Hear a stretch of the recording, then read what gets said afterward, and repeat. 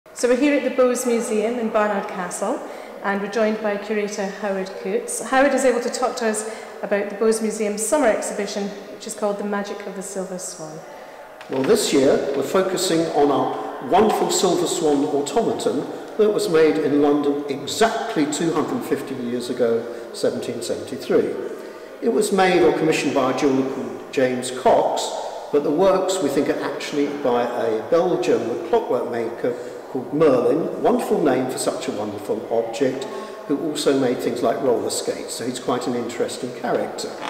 What we're adding to it is some of the items that we already have in our collection that you might not think are related to the swan, but for instance, this little toy automaton of about 1910 of a lady who roller skates, and of course uh, Merlin was the first person to make